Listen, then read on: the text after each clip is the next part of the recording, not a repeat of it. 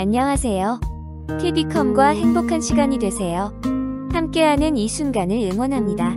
먼저 구독과 좋아요는 무료로 후원하는 사랑의 손가락 운동입니다. 꼭 부탁드립니다.